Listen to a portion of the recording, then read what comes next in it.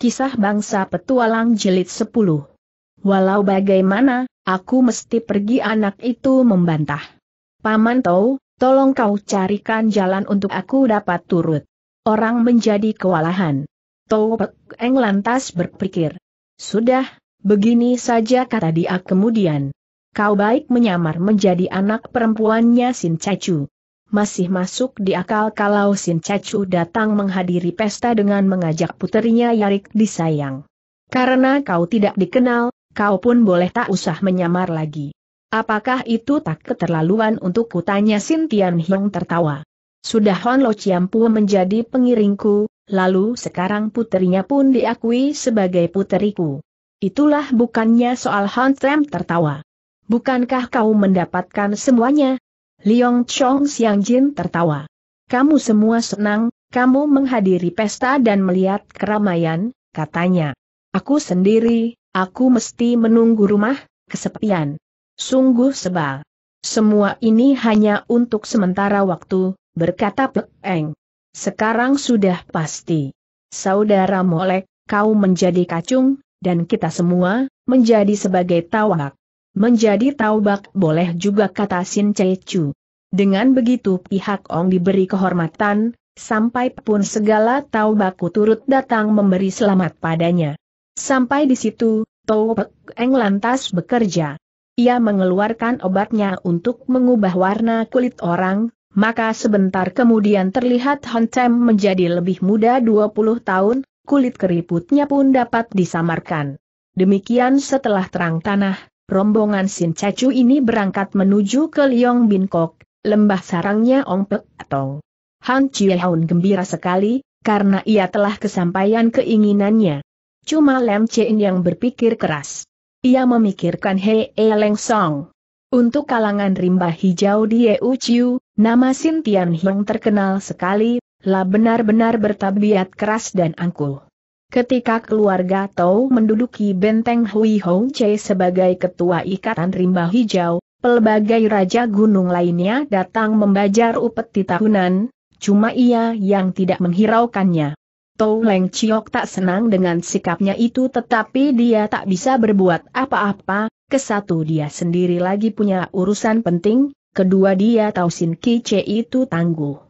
Ong Tong tahu sifatnya Tian Hiong, Benar ia mengirim undangan, tetapi ia tidak mengharap banyak tetamunya itu nanti datang memenuhkan undangannya itu, maka juga tempo ia menerima kartu nama Tian Hiong, yang datang berkunjung, ia heran sekali, dengan tergesa-gesa ia menuntun anaknya keluar buat menyambut sendiri kepada tetamu yang berkepala besar itu. Setelah kedua pihak saling memberi hormat, Sintian Hiong kata Ong Che Chu berhasil merobohkan dan merampas Hui Hou Che, pantaslah kau diberi selamat. Sudah sekian lama Kim Kisan dibikin tak puas oleh keluarga Tau, baru sekarang hatiku lega, karena itu, Kaisni semua bersyukur. Karena itu juga maka, sekarang aku datang bersama beberapa saudaraku ini, untuk menghaturkan selamat. Ong Platong berlaku merendah untuk pujian itu, ia pun mengucap terima kasih. Sin Tian Hiong bisa sekali bicara. Dia kata pula, datangnya itu selain buat memberi selamat dan membilang terima kasih, juga sekalian untuk mohon perlindungan ini Beng Chu, atau Kepala Ikatan Rimba Hijau, yang baru. Lalu dia tertawa bergelak dan menambahkan, Cacu tahu, pesta ini suatu pesta yang langka, jarang ada selama seratus tahun.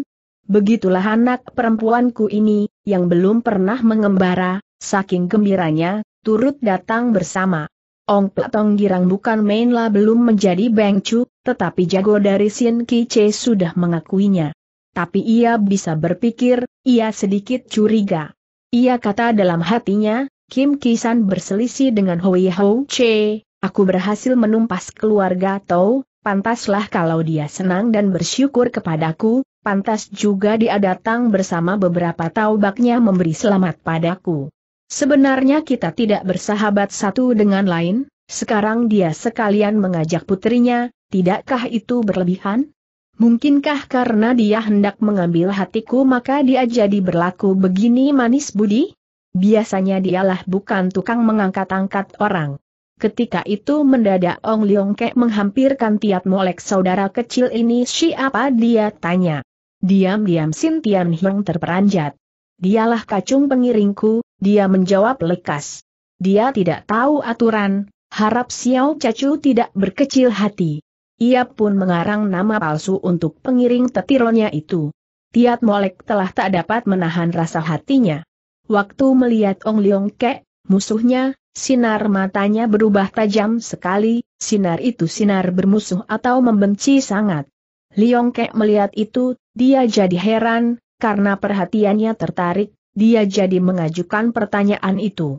Molek cerdik ia insyaf akan kekeliruannya itu, maka ingin ia membetulkan. Tongki mengajak aku kemari, aku jadi ingat suatu hal lama, kata dia. Di sini bukan tempat kau bicara, Kau mundur kata Tian Hiong, yang khawatir orang banyak bicara. Biarkan dia bicara, tak apa, kata Liong Ke. Molek lantas mengasih lihat Roman takut dan ragu-ragu. Baiklah, kau boleh bicara kata Tian Hiong kemudian. Ajak terpaksa. Aku ingat satu hal, kata Molek. Bukankah Tongki pernah menyuruh aku pergi ke Hui Hua? Ketika itu aku dimarahi mereka. Sebabnya itulah Tongki tidak mengirim bingkisan kepada mereka. Aku telah diikat dan diusir pergi. Sekarang sebaliknya lah keluarga Ong. Di sini aku disambut secara baik. Maka itu aku jadi ingat kejadian dulu hari itu.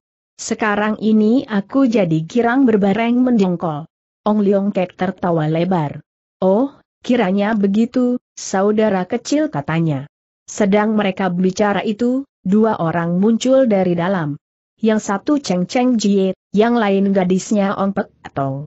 Chuan rumah lantas mengajar kenal. Katanya, inilah Sin Cacu dari Kim Kisan yang namanya sangat terkenal dalam dunia rimba hijau. Ini adalah Cheng Cheng Jie, ahli pedang dunia Kang O yang kesohor. Sudah lama aku mengaguminya kata Cheng Cheng Jie, singkat dan angkuh. Lantas dengan mata tajam dia menyapu semua tetamunya itu. Ketika dia melihat Hontem, dia terkejut di dalam hatinya. Sebagai ahli silat, dia dapat melihat sinar mata luar biasa dari jago Shihon itu. Lekas dia menghampirkan dan menanya, apakah Shi mulia dan nama besar dari Cecu ini? Han Tan menjawab cepat, aku si orang Shihon cuma menjadi serdadu kecil yang tak ada namanya dari Kim Kisan. Sin Tian Hiong pun berkata, Hanto aku ini menjadi tongki kedua di Kim Kisan, dia datang belum lama. Syukur, aku girang sekali dengar pertemuan ini Cheng Cheng Jie berkata. La turut bicara. Ong To aku, muka To aku terang sekali hingga dapat mengundang Honto aku datang kemari. Ia tertawa, terus ia menambahkan, aku merasa beruntung dapat satu sahabat baru. Ia lantas mengulur tangannya, untuk berjabatan. Ong Petong heran hingga ia terperanjat. Aneh sikap Cheng Cheng Jie. Dia tidak menghormati Sin Tian Hiong hanya seorang tawak. Maka ia mengawasi saja. Cheng Cheng Jie hendak menguji taubak tetamunya itu, maka di waktu mereka saling jabat, dia mengerahkan tenaga Xiao Tian Ce atau bintang kecil.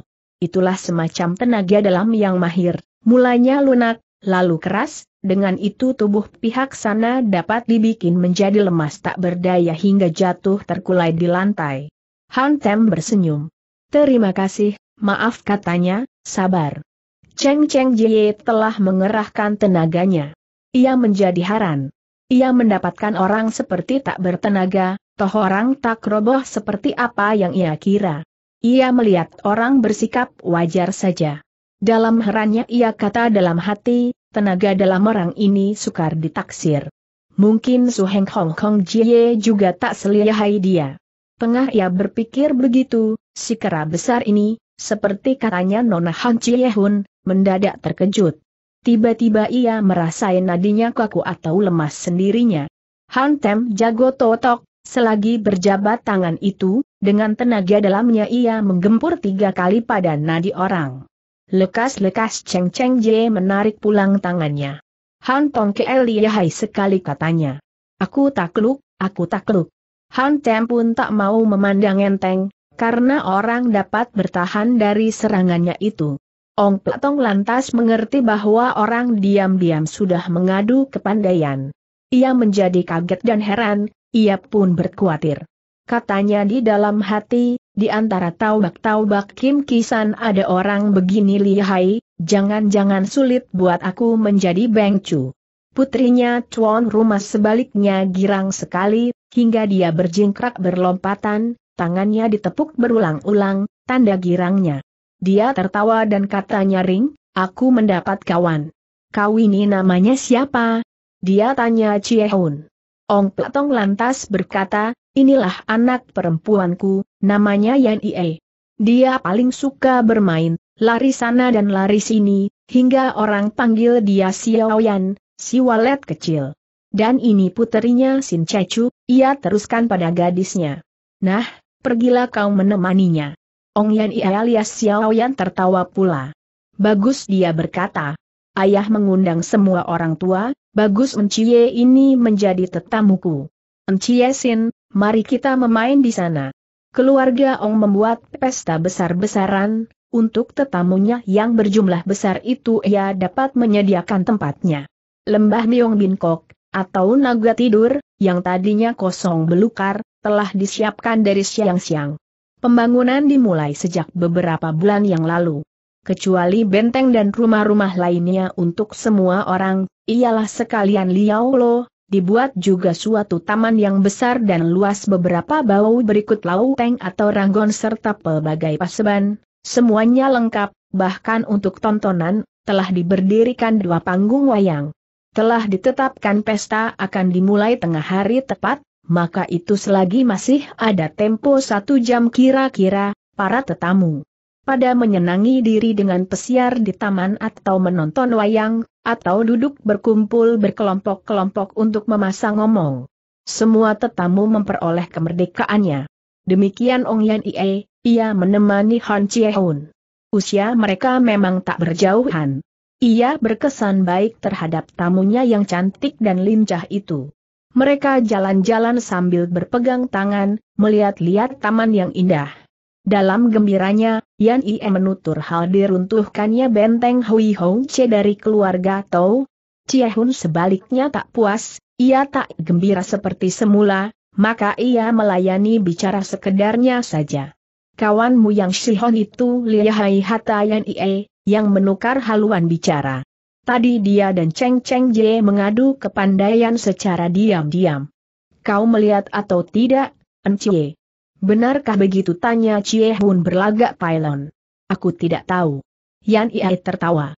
Kita bagaikan sahabat-sahabat kekal, mengapa kau begini merendahkan diri kata dia. Apakah Encie menganggap aku sebagai orang luar? Tadi mereka itu saling menguji kepandaian, turut penglihatanku, Han Tong Ke, kamu itu rupanya menang unggul. Han Tong Ke demikian lihai, ayahmu mesti berada di sebelah atas dia. Bukankah Bapak Harimau tak mempunyai anjing dan Panglima Gagah tak mempunyai serdadu lemah? Enciesin, pasti ilmu silatmu pun mahir sekali. Aku dilahirkan bebal, kata Ciehun, maka itu meski aku pernah belajar silat beberapa hari, apa yang aku bisa tak dapat dinamakan kepandaian. Encieong, aku minta janganlah kau menempelkan emas di mukaku. Ciehun tak gembira, ia bicara tawar. Aku tidak percaya kata Yan Ie tertawa. Lantas dia menggenggam tangan tetamunya, sengaja dia mengerahkan tenaganya beberapa bagian. Dia membataskan diri karena dia khawatir Ciehun tak sanggup bertahan. Ciehun telah mendengar halnya Yan Ie selama menempur keluarga Tau sudah berlaku telengas sekali, sekarang ia tak berkesan manis terhadap nona itu, ia panas hati, ia tak puas. Karena itu, ketika ia dipaksa diuji ini, diam-diam ia mengibasi tangan bajunya.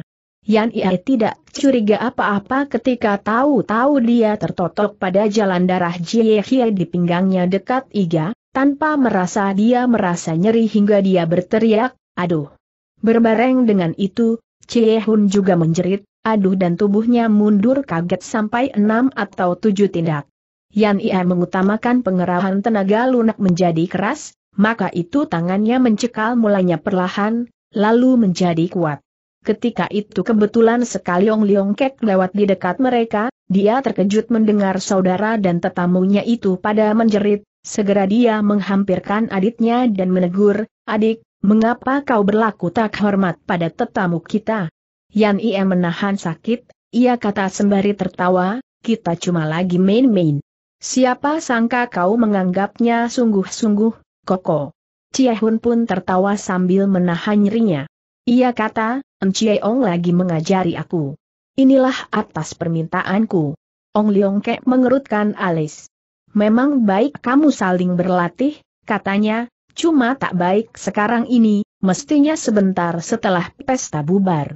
Kalau taman kosong, bukankah bagus? Ong Leong Kek teliti dan sabar. Ia dapat menduga kedua nona lagi menguji kepandaian. Sebab itu, timbullah kecurigaannya. Ong Yan Ia lebih gagah daripada Liong Kek, kakaknya itu, sekarang dia tak mendapat angin menguji Hun, tentu sekali Seng kakak menjadi haran. Pikir Liong Kek, kawan dan anaknya Sintian Hiong begini lihai, kenapa dulu-dulu dia tak mau menjadi jago rimba persilatan? Kenapa dia justru menerima menjadi sebawahannya keluarga Tou? Dan sekarang, kenapa mereka sudi tunduk pada keluarga Ong kami? Tidakkah dalam ini ada kepalsuannya? Karena kecurigaannya ini. Liong Kek lantas pergi mencari Cheng Cheng Jie, untuk memberitahukan dan berdamai. Kedua nona berjalan-jalan terus di dalam taman, diam-diam mereka saling memuji kepandaian masing-masing. Karena itu juga, mereka atau lebih benar Nona Ong tidak berani menguji terlebih jauh. Enciesin, ilmu totokan mengebutmu ini sangat lihai, kata Yan Ie tertawa. Bagaimanakah hubungan Encie dengan Lo Sian Seng Hon Tam? Ditanya begitu, Cie Hun terkejut di dalam hati. Pikirnya, sudah lama ayah menyembunyikan diri, kalau bukan orang rimba persilatan kelas 1, tak ada yang kenal ayah. Kenapa dia ini, yang masih begini muda, mendapat tahu nama ayah? Ia pun seorang cerdik, ia tidak mau mengentarakan kagetnya itu, maka ia sengaja berlagak pylon. Orang macam apa Hantem itu ia tanya. Aku cuma kenal seorang Shihan, ialah Paman Han yang hari ini datang bersama-sama aku. Siapa itu Lo Sian Seng Hantem? Maaf, aku tidak tahu. Hantem itu, kata Yan Ie, menurut keterangan buruku, dialah ahli totok nomor satu di kolong langit di zaman ini. Barusan aku melihat ilmu totok kau, Encie, Aku jadi ingat Hon Lo Sian Seng itu, aku mengira kaulah muridnya. Kepandaianku yang tak berarti adalah buah ajarannya ayahku sendiri, kata Chie Hun bersandiwara terus, sekarang aku bertingkah mempertunjuki di sini, aku malu, aku mengundang buah tertawa saja Cie, aku justru mengagumi kau buat ilmu Bian Ciang serta menutup dirimu itu. Encie, siapakah guru Encie yang terhormat? Tabiat guruku sama dengan tabiat Hon Lo Sian Seng itu, sahut Yan Ie, ialah mereka sama-sama tidak menyukai orang lain, orang ketahui nama mereka, maka itu aku tidak berani menyebutkan namanya. Mendengar itu, Cie Hun tahu orang sudah mulai mencurigai pihaknya, akan tetapi ia tidak takut. Ia turut datang kemari justru karena niatnya untuk mengacau di lembah Liong Bin Kok ini, guna membanguni naga tidur. Mereka pesiar terus. Yan Ia mengajak tetamunya pergi ke tempat wayang. Di antara banyak orang, ia tiba-tiba melihat seorang pengemis, ia menjadi haran. Eh serunya, mengapa kamu membiarkan pengemis masuk kemari? Lekas usir dia pergi. Orang-orangnya keluarga tahu menjadi kaget. Sebenarnya juga, mereka tak memperhatikan pengemis di antara sekian banyak tetamunya itu. Mana dia? Mana dia begitu beberapa hamba menanya. Dalam tempo yang sangat pendek, pengemis itu sudah menghilang. Yang paling heran ialah Hong Yan Ie. Maka hendak ia pergi mencari sendiri. Tapi itu waktu pesuruh ayahnya sudah datang menyusul memanggil ia dan ia kembali guna menemani tetamu dalam medan pesta. Ketika itu tengah hari tepat. Di dalam kamar itu di mana-mana terdengar suara tambur dan gembreng, tanda mengundang para tetamu menghadiri perjamuan. Masing-masing mereka segera diundang berduduk. Ong Petong bersama puterinya menemani Sin Tian Hiong dan rombongannya Han Hun. Ong Petong diapit Cheng Cheng Jie di kiri dan seorang tua yang romannya aneh di sebelah kanan. Han Tem hadir di meja tuan rumah ini. Lam Chein bersama To Pek Eng dan rombongan duduk di sebuah meja lain. Meja ini berdampingan dengan meja kepala. Diam-diam Chein memasang mata. Maka ia melihat dua orangnya An Lok San, yang mengenakan pakaian preman, duduk di meja lain berdekatan dengan meja mereka. Kawannya mereka itu berdua ia tak kenal siapa adanya. Setelah tiga idaran maka si orang tua di kanannya Ong Pek Tong, menepuk tangan tiga kali. Ia berbangkit memandang semua tetamunya. Itulah tanda bahwa ia hendak bicara. Sebenarnya dialah Cai Suiye, Seorang jago rimba hijau yang namanya cuma di bawah Hantou Leng Chok dan Ong Pek Tong, cuma dia menjadi sahabat karib dari Pek Tong. Begitu dia berdiri, banyak orang tahu apa yang dia bakal ucapkan. Demikianlah dia angkat bicara, orang-orang yang memangku pangkat ada kepalanya. Kepala itu ialah yang dipanggil raja. Kita yang menjadi berandal, kita juga mempunyai pemimpin. Pemimpin kita ialah yang dipanggil Beng Chu. Selama beberapa puluh tahun, yang menjadi Beng Chu kita terus menerusi Allah keluarga Tau. Keluarga itu cuma tahu mencelakai orang lain, untuk menguntung diri sendiri, mereka tak mengenal persaudaraan. Maka mereka mirip si raja tak bijaksana yang tolol. Aku percaya cuan-cuan yang hadir di sini, semua pernah diganggu mereka itu. Tapi sekarang ini Toako Ong Pek Tong telah menolongi kita menyingkirkan bencana rimba hijau itu, Hui Hou C telah dilabrak musnah, maka juga dunia rimba hijau gembira sekali. Sekarang selesai sudah urusan keluarga Tau, sekarang muncul soal si pemimpin. Pemimpin itu perlu. Tanpa pemimpin ada, seumpama kawanan naga tanpa kepala, dapat terjadi orang main berebutan, hingga bencana kecelakaannya bertambah besar. Maka juga kita, kita mirip negara, yang tak boleh ada satu hari tanpa rajanya. Ya, kita tak boleh ada satu hari tak ada pemimpin kita. Menurut aku, karena Ong Toako sudah menolongi kita menyingkirkan si pemimpin yang tak bijaksana itu, baiklah kita minta saja ia yang menggantikan kedudukan keluarga Tau, ialah kita angkat ia menjadi bengcuk kita yang baru. Bagaimana pendapat Tuan-Tuan? Keluarga Ong sudah berkomplotan, segala apa sudah diatur, maka lantas ada banyak suara yang menyambut anjuran Tai Suye, yang menyatakan setuju, sedang mereka yang jeri terhadap Pek Tong, menurut memberikan suaranya, untuk mengekor. Kelihatannya sudah pasti Ong Pek Tong bakal diangkat menjadi Chu ketika Sin Tian Hiong berbangkit. Aku ingin bicara berkata tetamu ini. Dalam sekejap saja, suara berisik menjadi sirap. Tai Sui heran hingga dia melengak. Sin Cecu, apakah Cecu mempunyai pendapat lain ia tanya. Aku bukannya tak setuju Ong To Ako menjadi Chu, sahut Tian Hiong. Cuma ada satu hal yang aku masih kurang mengerti. Untuk itu aku mohon keterangan dari Ong Chechu dan Tai Chechu. Keterangan apa itu yang Sin Chechu minta Tai Suyai tanya? Barusan Tai Chechu bilang, orang berpangkat ada raja yang menjadi kepala ya, kata Tian Hiong, maka itu, kita pun perlu menunjang seorang pemimpin, untuk dia mempersatukan perintah, untuk kita menentang pemerintah. Bukankah begitu maksud ringkas dari Tai Chechu? Ya, Begitulah maksudnya Tai Suyai memberi kepastian. Bagus kata Sim Tian Hiong. Sekarang ingin aku menanya, kalau begitu maksud kita, kenapa di dalam pertemuan rimba hijau hari ini ada diundang juga sebawahannya Anlok San? Apakah maksud yang sebenarnya?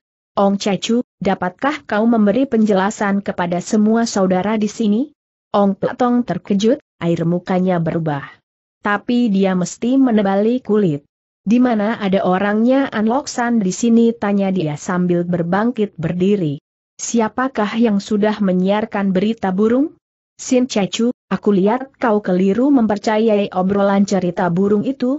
Tak menanti suara orang berhenti, Lam Ching sudah berbangkit buat terus menunjuk ke meja di sampingnya, kepada Tio Tiong Chie.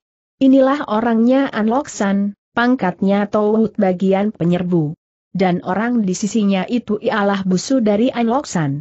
Mendengar itu, hadirin menjadi ramai.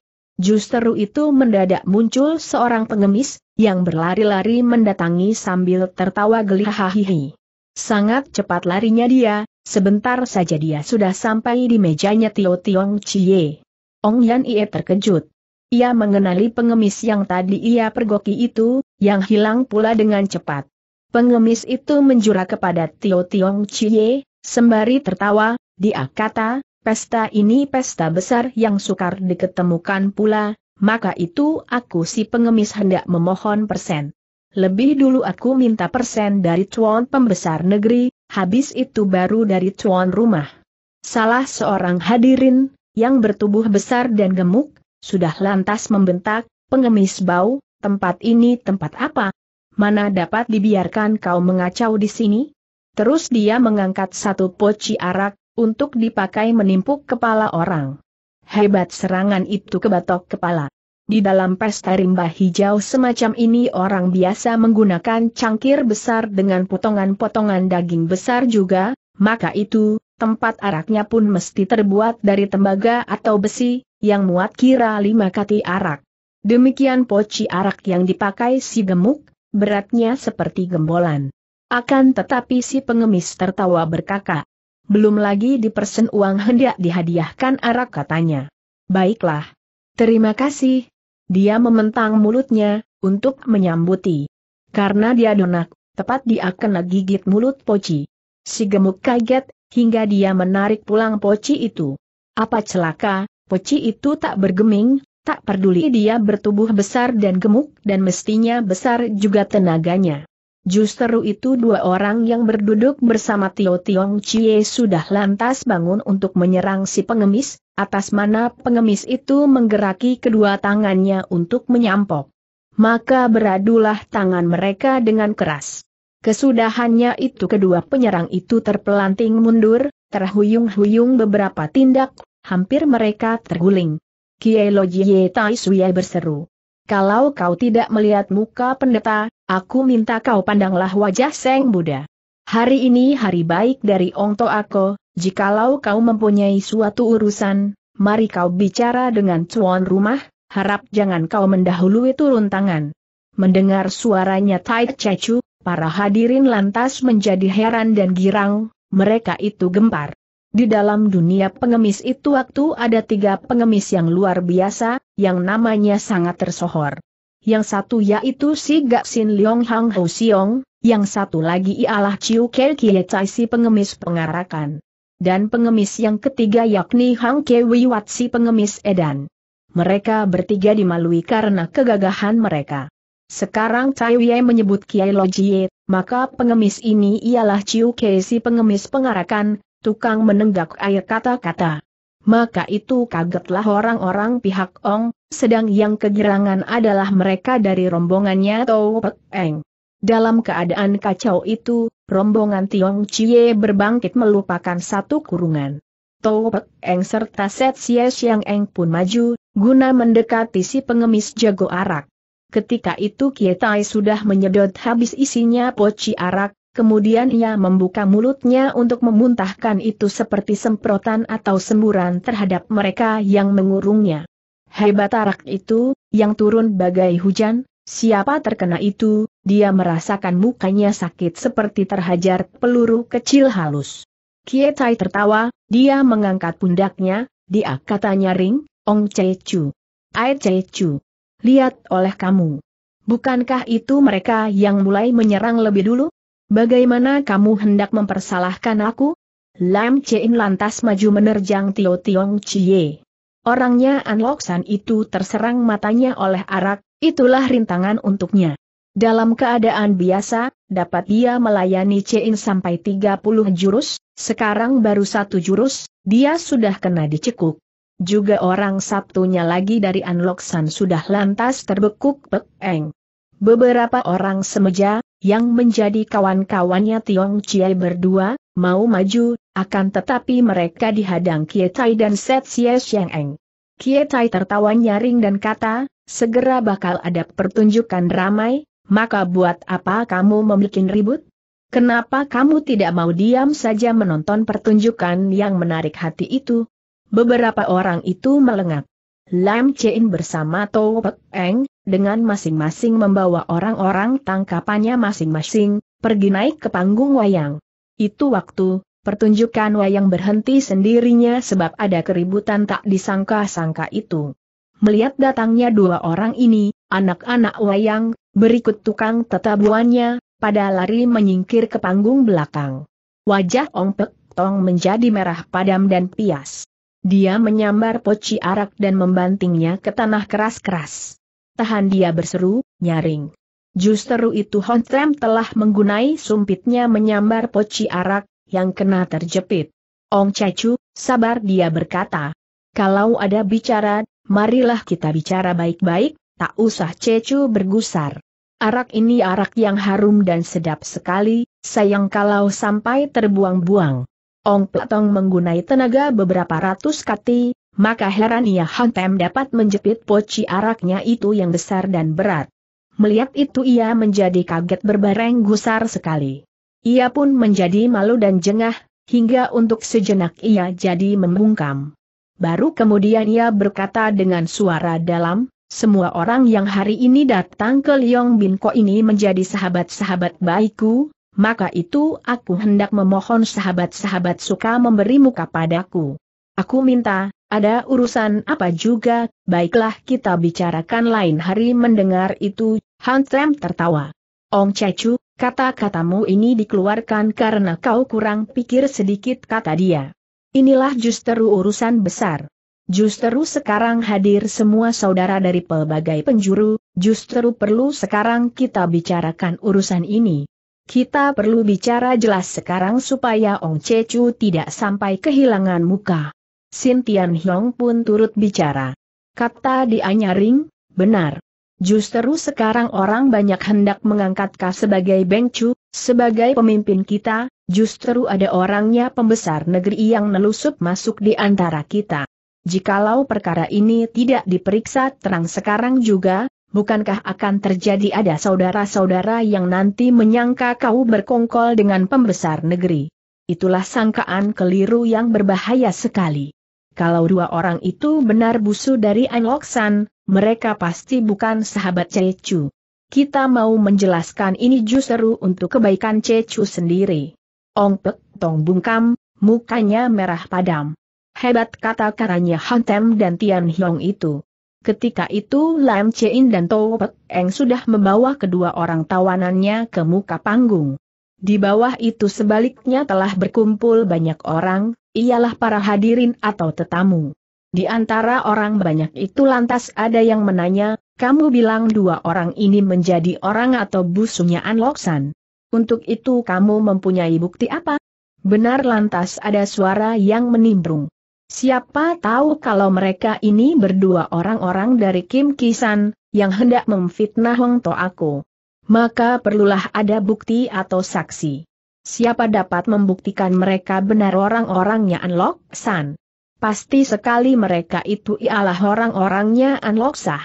Dan mereka dapat sambutan lagi dari kawan-kawan mereka. Tentu, di antara mereka itu, Walaupun ada yang ketahui siapa Tiong Chie dan kawannya itu, mereka berlagak pailon. Aku dapat memberi bukti berseru Kiai Tai, yang berada di antara banyak orang. Dia bersuara dingin, suaranya tak keras, tetapi tajamnya menusuk telinga. Maka suaranya itu membungkam suara berisik orang-orangnya Ong Pek Tong itu. Ada bukti apa ada juga orang yang bertanya. Buktinya ada di tubuh mereka Kiai Tai menjawab, tertawa. Lam Chein disadarkan Kiai Tai, ia lantas menggeledah tubuhnya Tio Tiong Chie. Maka ia dapat menarik keluar Hou Tau Kim Pei, yaitu lencana emas berkepala harimau, benda pertanda kalauan Loksan menitahkan orang atau orang-orang kepercayaannya pergi bertugas, bahkan dengan itu, pesuruh ini dapat memberi perintah pada tentara atau pembesar militer setempat. Di antara orang-orang rimba hijau ada yang mengenali Kim Pei itu. Karena itu orang-orangnya Ong Pek Tong lantas pada menutup mulut. Buat apa kamu datang kemari Lem Chin tanya dua orang tangkapannya. Lekas kamu mengasih keterangan. Tio Tiong Cie bangsa keras kepala, dia berdiam. Chin memencet lengannya, hampir tangannya itu remuk, akan tetapi dia terus bungkam. Sebaliknya kawannya tak dapat bertahan, sebab dia disiksa Tou Pek Eng yang menggunai tipu silat Hun Kin Chokut Chiu, hingga tangannya bisa salah urat atau salah laku, yang mendatangkan jasa nyeri bukan buatan. Dia tak tahan maka dia menjerit keras, aduh. Bicaralah bentak Pek Eng. Kalau tidak, kau bakal merasa yang terlebih hebat lagi. Baik, Hohan, aku bicara kata orang itu. Akan aku bicara tepat di itu waktu, Cheng Cheng Jie mengayun tangannya.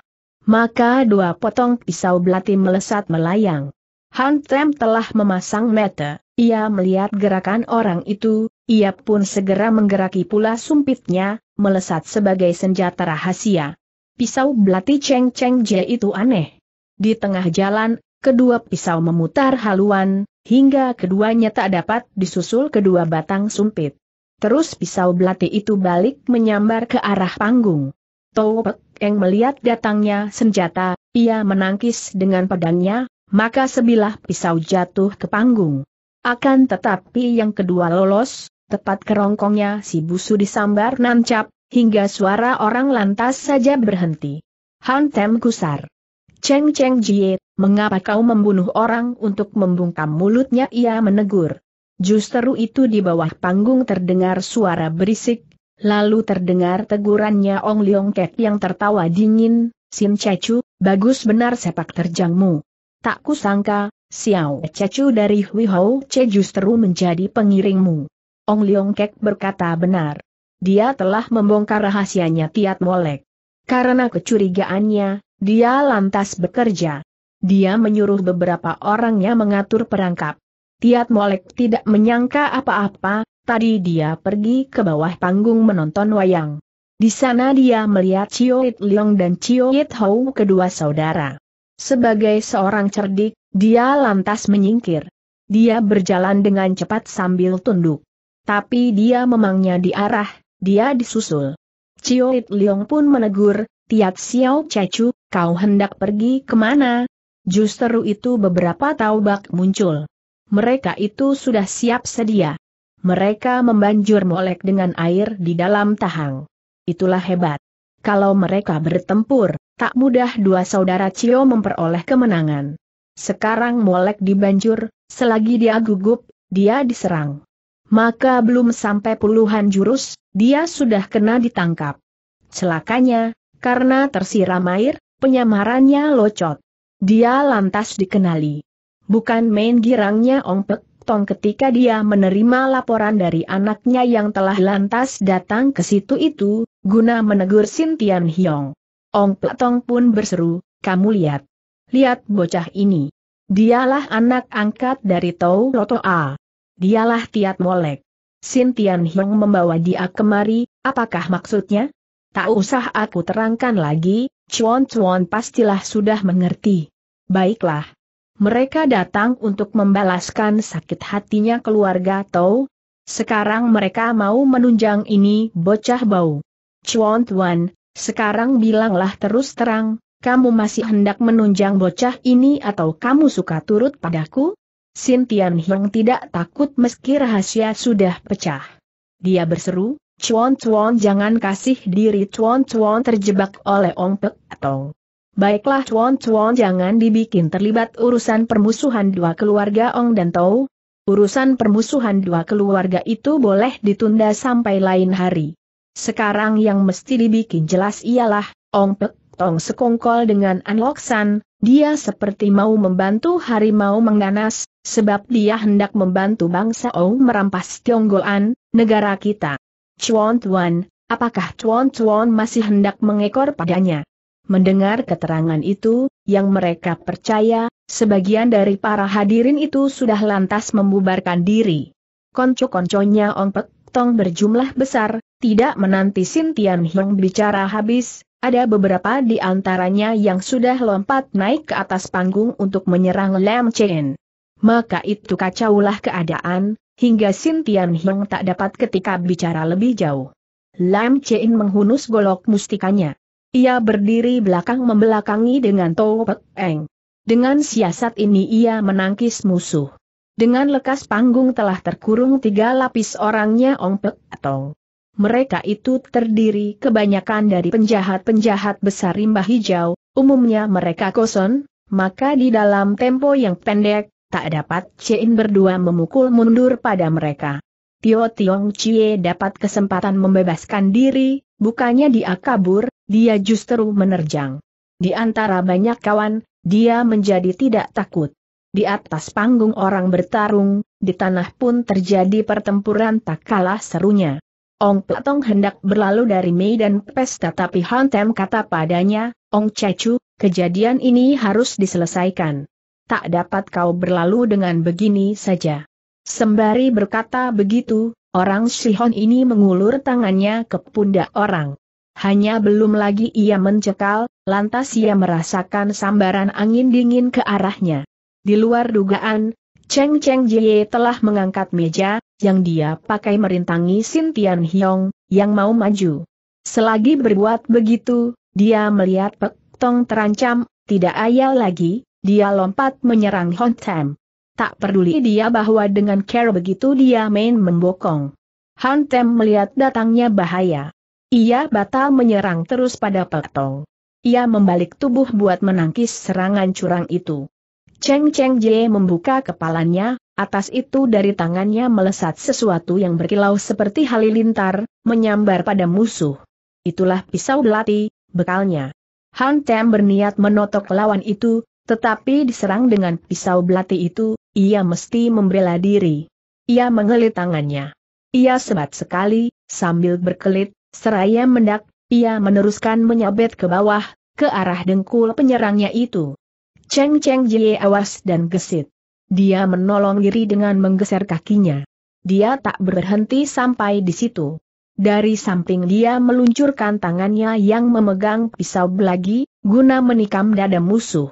Han Tan mendak untuk terus menjejak tanah, hingga tubuhnya mencelat naik.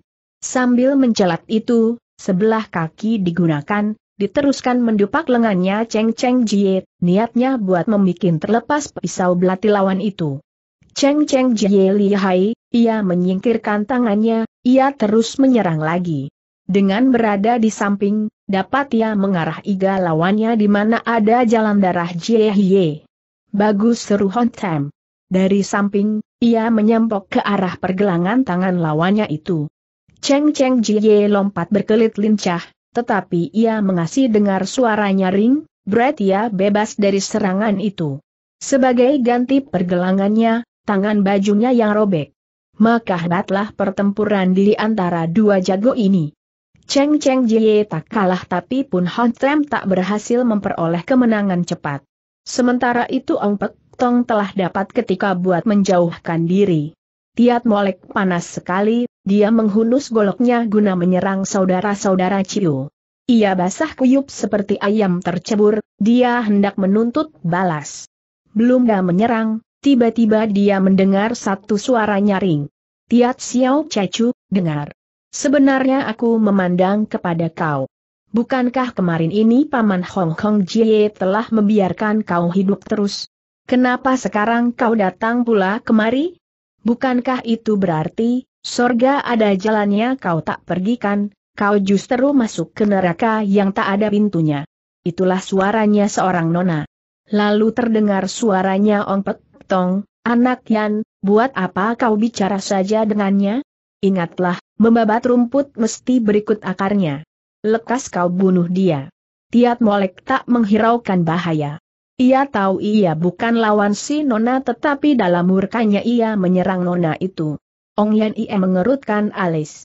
Apakah benar-benar kau kesusu mau menghadap Raja Akhirat tanya dia.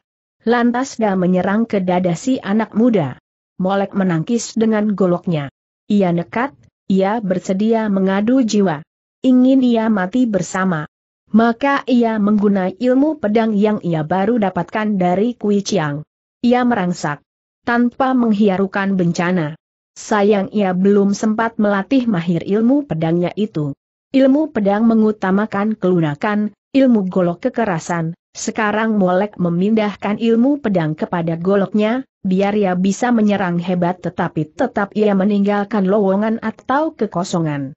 Yan ia lebih lihai, Sinona lantas dapat melihat cacat orang itu. Dengan memutar tubuh, dia berkelit, terus dia maju. Awas seru putri gagah dari Ong Pek Tong, yang pedangnya meluncur cepat. Molek terkejut, ia berkelit dengan gugup, Meski begitu ia tidak dapat membebaskan diri seluruhnya, bajunya kena terobek dan ujung pedang menowel kulit dagingnya. Celaka aku ia berseru dalam hati ketika ia merasai hawa dingin di iganya. Ia percaya jiwanya bakal melayang, tapi lantas ia menjadi haran. Yan ia tidak menikam terus, pedangnya ditarik pulang. Kata Sinona perlahan, nyalimu benar besar. Lekas kau pergi. Aku beri ampun pada jiwamu. Hanya sekejap molek melengak. Siapa kesudian diberi ampun serunya. Mendadak ia membacok. Ah seru si Nona, tetap perlahan. Tak dapatkah kau tak omong keras-keras? Hati-hati nanti ayahku mendapat dengar.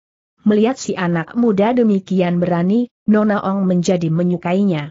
Syukur itu waktu pertempuran di panggung berisik sekali dan Ong Pek Tong lagi repot memimpin orang-orangnya menyerang Sintian Hyong semua, maka itu selain tidak ada yang mendengar juga tak ada yang memperhatikan dua anak muda ini. Molek telah menjadi seperti kalap. Ia tidak memperdulikan si Nona, ia menyerang pula, beruntun sampai tiga kali. Benar-benar ia mau mengadu jiwa. Yan Ia menjadi gusar. Bocah bau, kau tidak dapat melihat salatan bentaknya. Terpaksa ia melayani sekalian membela dirinya. Ia terus merangsak. Dengan tipu silat bidadari melemparkan torak, ia merapatkan diri, untuk menikam nadi si anak muda, guna memaksa orang melepaskan goloknya. Tengah Nona Ong menyerang itu, mendadak ia merasa angin menyambar di belakangnya. Ia masih muda tetapi pengalamannya sudah banyak, sedang ia pun muridnya guru yang pandai. Ia tahu artinya angin itu, ialah anginnya satu serangan. Dengan sebat ia gunai jeriji kirinya menolak goloknya molek, sama sebarnya ia menangkis ke belakang, menghalau serangan. Tatkala ia menoleh, ia melihat penyerangnya itu Hon Chie Hun. Oh, kiranya Encie Sinona Ong kata tertawa. Bagus. Bagus. Memang aku ingin mencoba kepandaian Encie.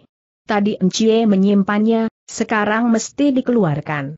Supaya aku dapat membuka mataku. Ah, hantu wanita cilik yang telengas Ciehun mendamprat. Hari ini kau tak akan lolos dari keadilan. Benar tanya Yan Ie tertawa.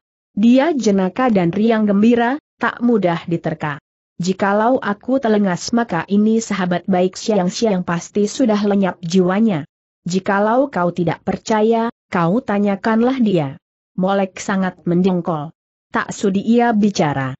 Ia maju pula dan menyerang dengan hebat. Ciehun pun maju, dari itu, Yan Ie kena dikepung berdua. Nona Han menggunai sepasang poan koan pit, senjata yang mirip pala tulis, pit, peranti menotok jalan darah, dengan begitu ia menggunai kepandaiannya yang menjadi ajaran ayahnya. Tapi Yan Ie gagah, tak gampang dia dikalahkan. Karena adanya Molek, putrinya Ong Pek Tong angin juga. Di bawah panggung orang bertempur secara kacau itu, di atas panggung pertempuran tak kalah hebatnya. Dengan belakang membelakangi, Lam Chein dan Tou Pek Eng menyambut pelbagai penyerangan. Jumlah musuh besar sekali, walaupun Chein gagah dan ia telah berhasil merobohkan beberapa orang, ia dan kawannya masih tak dapat mengundurkan penyerang-penyerangnya itu. Kietai mencegeluk isi buli-buli yang besar, umpama kata perutnya menjadi gendut. Setelah itu dia tertawa terbahak-bahak, dia kata dengan gembira, pertempuran ini sangat menarik hati untuk ditonton. Tak dapat tidak, aku si pengemis tua mesti membantu meramaikannya. Ha, ha. Dia lantas menghampirkan panggung, Terus dia mementang mulutnya, untuk menyemburkan araknya. Bagaikan diserang hujan deras, beberapa musuh yang berada paling dekat sudah lantas roboh atau terpelanting. Hebat serangan arak itu, yang membuat mata perih dan nyeri serta tubuh nyeri juga. setiap tetes arak merupakan seperti peluru. Benar serangan itu tidak segera meminta jiwa, tetapi orang kebuakan dan kesakitan tak terhingga. Di antara kawanan penjahat ada seorang Shiciok nama Samseng, dia terkenal koson, senjatanya ialah cambuk Hang Liong Pian yang berbuku tujuh, ketika itu ia justru merabuh kakinya Chen. Dia menggunai silat angin puyuh menyapu pohon yang liu, karena dia maju ke muka, dia kena tersemur arak, lantas matanya tak dapat melihat. Menampak demikian, Cein berseru, goloknya berkelebat. Tidak ampun lagi, jago itu roboh. Karena itu, terbukalah satu lowongan. Tanpa ayal pula, Lampet mengajak kawannya lompat turun dari panggung. Pembantunya Ong Pek Tong yaitu Tai Sui menyaksikan perbuatannya Kietai itu, ia lantas menegur, Kie Lojie, kitalah air sumur yang tidak saling mengganggu dengan air kali, mengapa sekarang kau mengacau begini rupa? Bukankah perbuatanmu ini berarti kau sangat tidak memandang matu kepada tuan rumah? Kietai tertawa. Kamu toh tidak mengundang aku dia membaliki. Karena kamu tidak mengundang aku, buat apa aku menjual muka kamu? Lain dari itu, Kau tahu sendiri tabiatku si pengemis tua, satu kali aku ketagihan arak lantas aku tidak memperdulikan lagi muka atau bukan muka. Maka mari, mari, mari. Kau tidak mengundang aku minum arak, aku sendiri suka mengundangmu minum barang sedikit. Dengan lantas Ciu Ke mementang pula mulutnya, menyembur ke arah Tai Suye. Bukan main gusarnya si orang Shitai. Dengan lantas ia melakukan satu serangan udara kosong, guna menyambok balik hujan arak itu, habis mana ia maju, untuk menyerang, bahkan dengan hebat.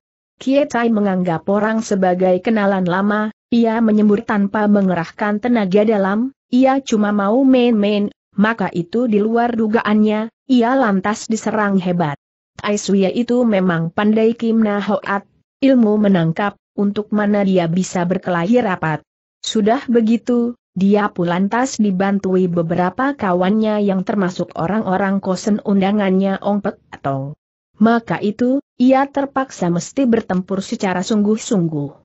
Lam Chein membuka jalan untuk dapat mempersatukan diri dengan Sintian Hyong, tengah ia maju itu, tiba-tiba ia merasakan sambaran angin kepada punggungnya. Di luar sangkaan, ia telah diserang Ong Leong Kek, puteranya Ong Pek Tong, yang sekarang mengenalinya, hingga ia mesti memutar tubuhnya menghalau serangan itu. Ong Leong Kek tertawa dan kata, orang Silem, kau terlalu. Bukankah kemarin ayahku berlaku murah hati membiarkan kau kabur turun gunung, kenapa sekarang kau datang pula bahkan satu dengan menyamarkan diri?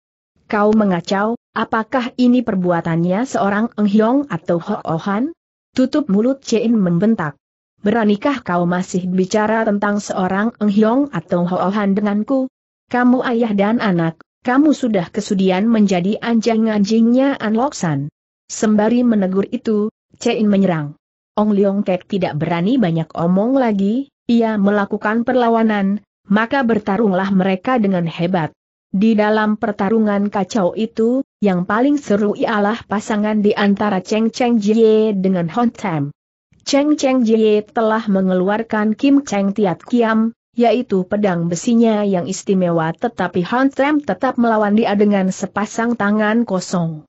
Tangannya itu, baik telapakan maupun jerijinya, merupakan seperti dua macam alat senjata, bahkan jari tangannya mirip dengan Puan Koanpit, Gegaman beroman seperti alat tulis peranti menotok jalan darah.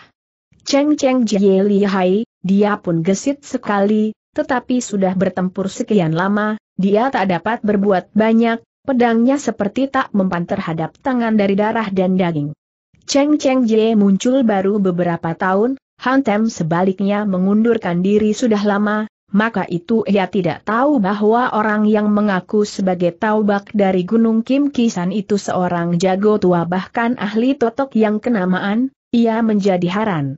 Setelah bertempur sekian lama, Han Tem lantas mulai dengan penyerangannya dengan ilmu silat Hut Inciu, atau tangan mengebut mega. Serangannya ini merupakan campuran dari tabasan, tekanan, totokan dan tusukan. Cheng Cheng Jie repot menangkis atau berkelit, jarang ketikanya untuk membalas menyerang. Ia gesit dan waspada, sebat kelitnya, tetapi satu kali dia kena juga di towel lengannya, hingga kontan ia merasa kesemutan pada tiga jalan darahnya, Giok Heng, Yao Kong dan Kiok Tai. Syukur untuknya, ia telah menutup jalan darahnya dan totokan tidak keras, ia menjadi tak usah sampai roboh terguling. Ketika itu Ong Pek Tong telah memimpin orang-orangnya mengurung Sin Tian Hiong. Ia menduga orang Shisin itulah pemimpinnya pihak pengacau pestanya itu, maka ia pun maju sendiri. Ingin ia dapat menawan hidup-hidup pada Tian Hiong. Dua saudara Set, yaitu Set Xie Xiangeng, bertempur rapat bersama-sama Tian Hiong, mereka gagah, tetapi dikurung banyak orang, mereka repot juga, tak dapat mereka memecahkan kurungan. Han Tem berkelahi sambil memasang metu keempat penjuru, dengan lantas ia dapat melihat Tian Hiong terkepung itu, lantas dengan satu serangan ia paksa Cheng Cheng Jie mundur, sembari mendesak itu, ia kata, dengan memandang muka suhengmu, aku tidak mau melukai kau, maka mundurlah kau. Cheng Cheng Jie terkejut. Kau siapa? Chuan Yat tanya. Kau pulang, untuk tanyakan keterangan suhengmu, nanti kau ketahui sendiri, sahut Han Tam. Sekarang aku tak mempunyai tempo untuk bicara banyak. Lalu sambil bersiul nyaring, jago tua ini lompat untuk lari ke arah Sintian Hiong. Cheng Cheng Jie bingung, ia kata di dalam hati kecilnya, tak peduli apa yang dia bilang benar atau salah, dia katanya kenal kakak seperguruanku, baik sekarang aku jangan melayani dia lebih lama pula. Tepat itu waktu dua-dua Ong Pek Tong dan Ong Leong Kek, ayah dan anak, mengasih dengar seruan mereka meminta bantuan. Cheng Cheng Jie dengar suara orang, seharusnya dia pergi pada Pek Tong, akan tetapi suaranya hantem membuatnya dijeri, ia pergi pada Leong Kek. Lam Chein benci sangat pada Leong Kek, ia menyerang dengan hebat, goloknya dipakai menyerang secara beruntun, setiap kalinya bertambah hebat. Di samping ia, Tou Eng dengan pedangnya menangkis lain-lain musuh. Selang 30 jurus. Liong Kek lantas terdesak hebat, dengan terpaksa ia membuka jalan, habis menangkis, ia lompat mundur untuk lari menyingkir. Akan tetapi Lem Chein tidak mau mengerti. Kau rasai bentaknya, sambil goloknya menyerang dari atas ke bawah. Jangan bunuh dia teriak Pek Eng, mencegah. Bekuk bocah itu hidup-hidup. Lam Chein lantas saja mengerti maksudnya Tou Pek Eng. Itulah untuk membekuk putranya Ong Pek Tong guna dijadikan orang jaminan.